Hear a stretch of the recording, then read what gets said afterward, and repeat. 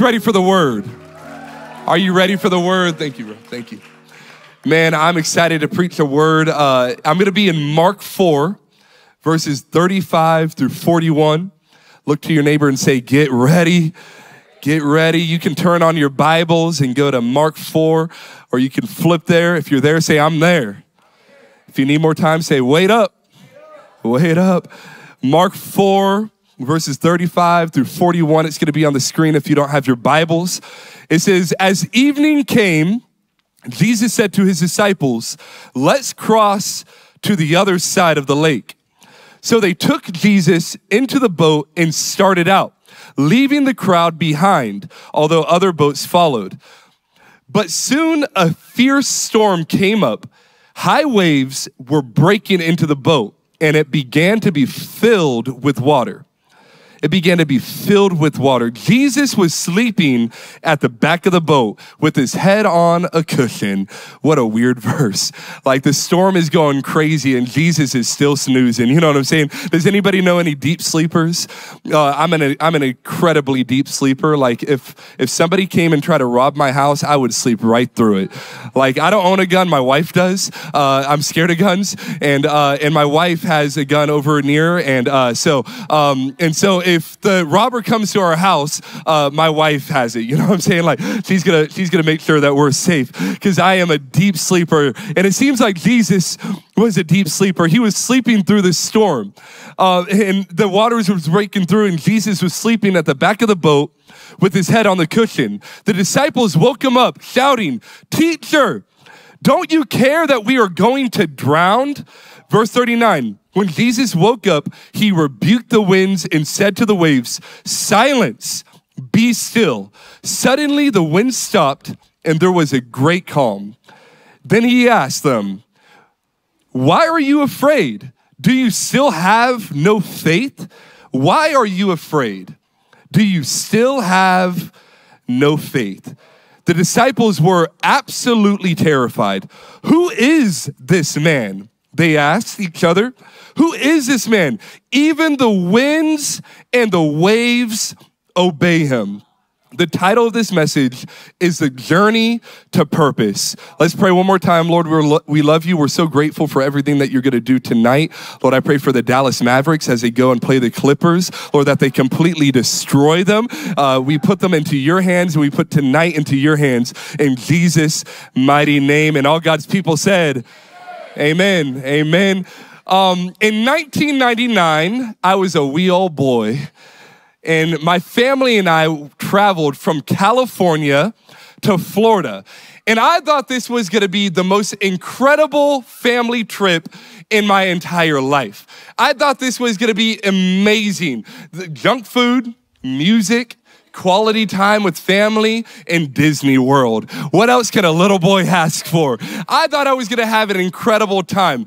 Little did I know that this was almost the last trip that I would ever go on in my entire life. Because on this trip, I almost died. Um, I was traveling, and as we were making our way through Texas, this was my first time in Texas. I'm a California boy. This was my first time, and I didn't know about Texas storms. Like, Texas storms are something else. In California, we didn't have tornadoes. We had earthquakes. You would just like jiggle for a little bit, you know what I'm saying? And, and then you're good. I didn't know about Texas storms. And so we're driving through Texas, and in the distance, I see beautiful clouds. They're big, they're mighty. I see lightning. The lightning's beautiful. I see, I, I, I hear the thunder. It's incredible. And it was beautiful in the distance. But as we start driving through the storm, my life was about to end. I felt the wind blowing. I saw the lightning striking and me and my entire family, we were screaming. Like, like this was a terrifying time. And by the end of the storm, me and my entire family, we were cuddled up in the front seat, holding on for dear life because we thought we were to die in this Texas storm. Have you ever been in a storm before? You know, storms, what they will do is it will it will take our eyes off of where we were going. Because for me, I didn't care about Disneyland. I didn't care about another bed I was gonna sleep in. All I cared about was surviving that day. And And storms, what they will do is they will take our eyes off of where we're going. And these disciples, they were on their way to the other side of the lake. And then they found themselves in the middle of the storm. It says this, the disciples woke him up and shouted, Teacher, don't you care that we're about to drown? So, in the midst of this storm, they were afraid. Have you ever been in a storm before? We, we all go through storms. And, you know, sometimes we go through natural storms, but if we're honest, there's times as Christians that we can go through storms of life. We can go through our parents getting a divorce. We can go through bullying. We can go through weight that is from darkness. We can, we can go through anxiety and depression. We can go through storms in our lives. And depending on how we handle that storm will determine if we get to the other side or not. Because what storms will do is it will take our eyes off of where we're going and it will put it on what we are currently going through. So when you're going through a storm, Instead of looking at what God has for you, you're looking at your brokenness. Instead of looking at how God wants to use you, you're looking at your anxiety. Instead of looking at the things that God wants to take you to, you're looking at the storm you're going through. Has anybody ever been through a storm before? We all go through storms. And before this storm, what we see is we find Jesus, and he says this He says, Let's cross to the other side of the storm. Notice what Jesus did not say. He didn't say, let's cross and be taken out by the storm. He didn't say, let's cross and turn around whenever things get hard. He didn't say, let's cross and whenever we want to give up, we'll just drown. No, he said, let's cross and make our way over to the other side. So, what does this mean? This means that Jesus already knew that they were going to make it to the other side. This, this means that he already had the end result in mind, that no matter the storm that these disciples were going to go through, that the plan was for them to go to the other side. And I'm going to let you know, and I'm going to encourage you, you may be going through a storm right now. You may have been attacked. You may have been weighed down by, by, the, the by the reins of this world. But I'm going to let you know Jesus is with you and he has plans for you not to die in the storm, but to make it to the other side. Jesus has a plan for you, and we can't allow the storm to weigh us down and get our eyes off of where Jesus is taking us. We will make it to the other side. And on the other side of this lake, it represents purpose. Because on the other side of this lake, we find a few different people in the Bible in chapter 5 of uh, Mark chapter 5. We find as soon as this boat makes it to the other side, Jesus and the disciples, they encounter a man who is filled with a legion uh, of demons. This man would make his home in tombs where dead people would sleep, and the entire town was afraid of him. And this man was in need of deliverance. This man was in need of a touch from Jesus, the power of Jesus. Also, on the other side of this lake, we find the woman with the issue of blood.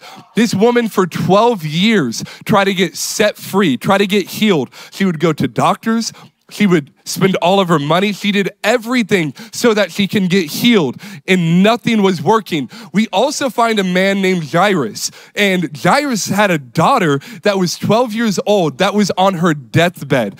And on the other side of this lake, we find someone who needs deliverance, we find someone who needs healing, and we find somebody who needs to be raised from the dead. And so, if the disciples would have been taken out by the storm, if Jesus would have been taken out by the storm, they would have missed out out on God being able to use them to set those people free. And I'm to let you know that we are all called by God and that there is something on the other side of the storm. And what we have to be careful of is we can't allow the storm to take us out because there is something and someone on the other side of your storm that needs healing, that needs breakthrough, that needs deliverance, that needs the power of God. And what we do sometimes is we get in the midst of the storm and we give up too soon. And when we give up, we give up on the call and the purpose that God has for us. And we th- this is this is crazy because God has called us all, but not everybody steps into the purpose that God has for them. There have been people who have been called by God and have not stepped into the purpose that God has for them. But we have the opportunity not to just be called by God or have the purpose of God, but to actually step in to the purpose of God. But it's it's a journey to step into that that purpose. And you know the enemy will do anything and everything to stop you from stepping into your purpose. He will send rain. He will send tornadoes. He will send trials. He will send tribulation. He will send weight and he will send all types of things. And the enemy does not want you to step in to your purpose. In John 10 10, it says, the thief, the thief's purpose is to steal and kill and destroy. The thief does not want you to step into your purpose. He wants to kill, steal, and destroy it. In 1 Peter 5 8, it says, Stay alert. Watch out for your great enemy, the devil. Watch out for him. Your great enemy, the devil. He prowls around like a roaring lion looking for someone to devour. The enemy does not want you to step into the purpose. The enemy wants to destroy your purpose. The enemy wants to destroy your mindset. The enemy wants to destroy your confidence. The enemy wants to weigh down on your life to stop you from stepping in to what God has for you. The enemy is afraid of you stepping into your purpose. And being attacked is a sign that the enemy is trying to keep us from our purpose. And sometimes we go through hard things and we're like, God doesn't love me. God doesn't hear my prayers. God hates me. I'm going through this. I have bad luck and I, I was born into this horrible family and this horrible situation and I am just not seen by God. But the opposite is true. The enemy has come after your life because you are a threat to the enemy and God wants to use you in a great way. And the enemy wants you to believe that you can't be used by God because you're a threat to him. Actually, you being attacked by the enemy is a sign that you are called by God. And you shouldn't run away from being attacked by the enemy because we are actually called by him. And it's a sign that we have been called by him. Why would the enemy attack you if you're not a threat to him? Why would the enemy bring stuff at you if you're not a threat to him? The enemy brings stuff to people in humanity because he's afraid of us, because there's power in our voice, there's power in our faith, there's power in our walk. And if we can step into the things that God has for us, we will see the enemy flee. And we are all being attacked. We are all being in storms and in trial. But here's my question for you. When you're attacked, Will you fight back or will you fall back? Stepping into your purpose, and when you're attacked, are you gonna fight back or are you gonna fall back? Because many Christians give up when times get hard. Many Christians give up on their family or on their school or revival when attack comes. But are you gonna fight back or are you gonna fall back? Are you gonna fight back against the enemy or are you gonna fall back against the enemy? Are you gonna believe for revival or are you gonna sit back and watch everything fall into hell? Are you gonna lean into people being set free or are you gonna lean back and watch everybody be broken? Are you gonna fight back or are you gonna fall back? Because if we're gonna step into our purpose, it's gonna be a fight. Who told you Christianity was easy? Who told you that everything was gonna be easy and nice and fun? No, Christianity is a fight. And if we are gonna step into our purpose, it's gonna be a fight. And we're gonna learn from how Jesus handled the storm on how we can step into our purpose. In verse 36, it says, So they took Jesus into the boat and started out, leaving the crowd behind.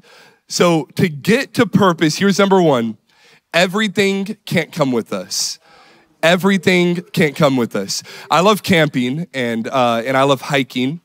Actually, I don't know why I said I love camping. I hate camping. Uh, but I do like hiking. I like going on trails and being in the mountain and being in nature. It's awesome. Uh, there was a time that I was going on a hike and I brought a lot of stuff with me. I brought extra layers of clothes. I brought my backpack. I, I brought a water bottle. I brought everything that you don't need on a hike. I just, I just brought, I was over prepared. And this hike was, a, this hike was about three miles long. It was incredibly long and I had had a lot of stuff on me. And so as I go on this hike, because I had all of this stuff, I started to get exhausted. I was weighed down. I didn't bring my inhaler. Uh, I didn't have uh, the energy to continue on. And so instead of finishing the trail, I turned back around because I was exhausted because I brought everything with me. And as Christians, there's times that we try to step into the things that God has for us, but we're still trying to hold on to everything from our past. We're, we're wanting to step into our purpose, but we're still trying to bring that addiction.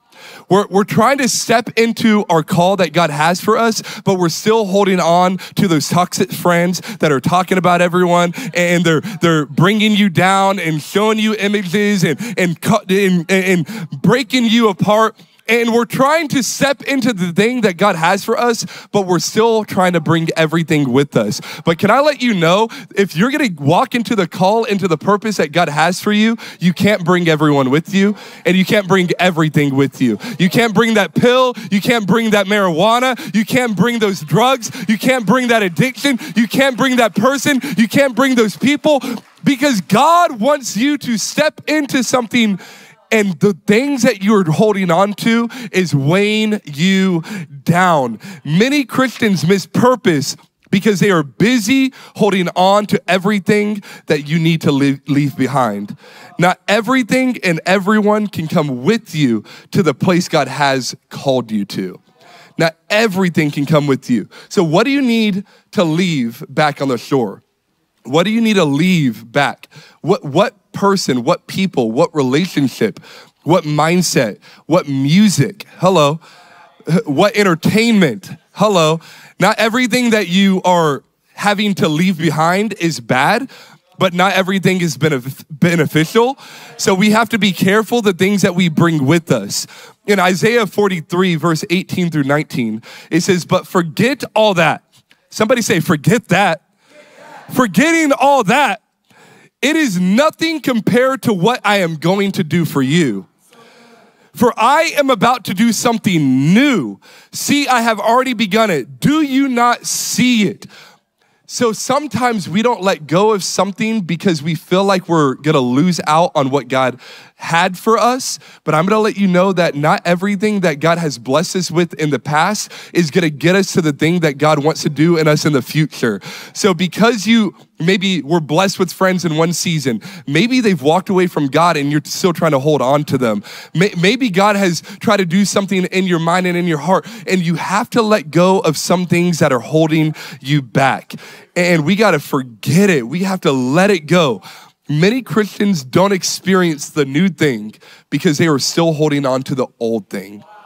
What are you still holding on to? What are you still holding on to? And we can't continue to hold on to what we have been holding on to. And to get to purpose, here's number two it won't be easy. In verse 37, it says, But soon a fierce storm came up high waves were breaking into the boat and it began to be filled with water. So these guys are Christians, but they're going through a hard time. These guys are Christians, they're with Jesus, but they're going through a season that was difficult. So if we're gonna step into purpose, sometimes we go through difficult seasons. Are you encouraged in church today? sometimes we will commit to Jesus and then we will experience our life getting worse. Come on, can I be can I be honest today? Sometimes you claim Jesus and then those friends leave you. Sometimes you say yes to Jesus and then all of the things fall apart because Christianity isn't always easy. In John 16 33, it says, In this world you will have trouble. So Jesus didn't say everything is going to be easy, everything is going to be nice, everything is going to be comfortable. Jesus actually said, in this world you will have trouble. Did you know that trouble is in this world? So, there's times where we'll look at the world and it's they're they're going to hell and they're all of the all of the things that they're doing and it's falling apart and we will see the world and be like, "Man, they're so broken." But did you know that Jesus said that this world will have trouble? That this world is broken, that this world is falling, and, and the enemy would love for you to think that your life should be comfortable. Because if you stay in the comfortable place, then you're never gonna be a threat to the enemy. But as soon as you step into uncomfortable environments and where things aren't easy and things aren't coming natural to you, is a very moment and the opportunity that God will want to use you. That that your life isn't always going to be easy. That that accepting Jesus isn't always going to be easy. Actually, in in the the early church, they were rejected. They were they were beaten they were thrown into prison, they were beheaded, and they still said yes to Jesus. And New Age Christians will run away at one side of somebody talking bad about you because now you hold your Bible in class. And this world and this life is not easy. But can I let you know the rest of this verse? It says, In this world you will have trouble, but take heart, I have overcome the world. So because you're connected to Jesus, you have power over darkness, over pain, over addiction. And even though storms may come at you, that you have the ability to have victory and to overcome the storm. When, when you sign up for war, you need to expect a fight. When you sign up to be in war, you're not just saying, I'm gonna just have a good old time and smile. And no, when you sign up for war, you're signing up for a fight. And I'm gonna let you know when you signed up for Christianity, you signed up for a fight.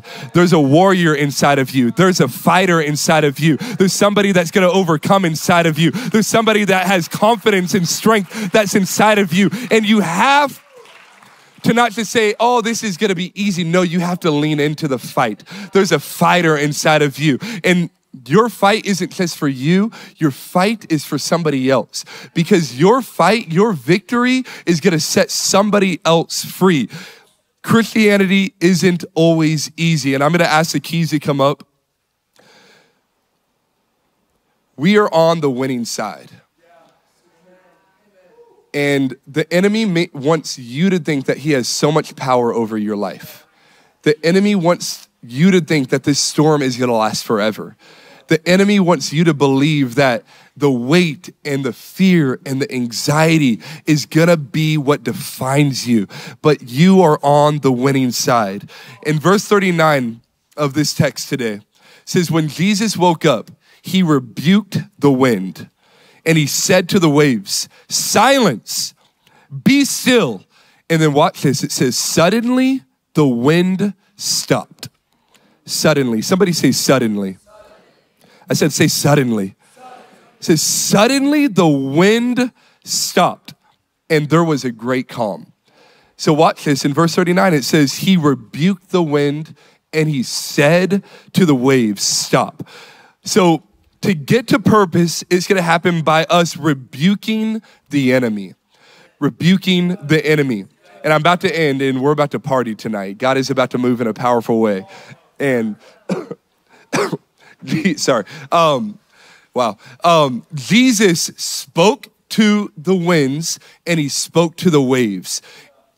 So, what I found about Christianity and what I see all the time is that we like to talk about the storm, so we talk about the anxiety, we talk about the depression, we talk about the hard times, we talk about the storm, we talk about the turbulence, we talk about how it's difficult. And this is what the disciples were doing. They were observing, look at how bad it is, we're gonna die. The disciples were very good at diagnosing the problem. Look at how bad it is. Look at how hard it is. And Christians do the same thing. We will look at something, we will diagnose it, we will say, This will end in death, this will end dark, this will end bad. And we have become good at talking about the darkness or talking about the storm, but Jesus didn't talk about the storm, he rebuked the storm. He didn't just talk about the storm, he didn't talk about the winds he rebuked the wind. And I find Christians only talking about the enemy. But we, if we're gonna step into the purpose that God has for us, we need to rebuke the enemy. We need to define what has come after us, and we need to say, anxiety, I rebuke you, be silent. We need to say depression, I rebuke you, be silent. We need to say schools that are going to hell, I rebuke you, be silent. We need to say to the world that you have come after us way too often and way too much, I rebuke you, be silent. We can't just look and diagnose the problem. We need to speak to the problem. When Jesus spoke, the enemy fled. When Jesus spoke to the storm and he spoke to the wind, it said that peace came. And I'm gonna let you know when you stop talking about your problem and you start speaking to the problem, watch what happens with your storm. Watch what happens when you stop just diagnosing your problem and you start speaking to the problem. And it was incredible because the storm went silent. There was no more attack, there was no more danger. And this is incredible because the disciples and Jesus, remember, they were called to go to the other side. The other side was a place of purpose. The storm was an attack, but the other side was purpose. So by them leaving things behind, and by them rebuking the enemy, and by them going through this hard time and not quitting whenever they did, they ended up getting to the other side. In Mark 5 1, it says, So they arrived at the other side of the lake in the region of Gennesaret. So, Mark 5, it says that they arrived at the other side. So they didn't stay in the storm, they didn't stay in the place of attack, that they actually arrived at the other side. And I believe that there's some of you where you've believed that you would never arrive. That you're not gonna be able to be used by God, that you're not gonna be able to step into the calling, that you're not gonna have the peace and you're not gonna have the freedom, that you're not gonna have the power. And I believe that there's some of you who've believed that. And watch this when they step to the other side, Remember that man that was filled with a legion of demons? He was delivered. Remember the, the woman who had the issue of blood for 12 years? She was healed. Remember the daughter that was dead on the bed that needed a resurrection? She was brought back to life. And because they got to the other side, they were used by God.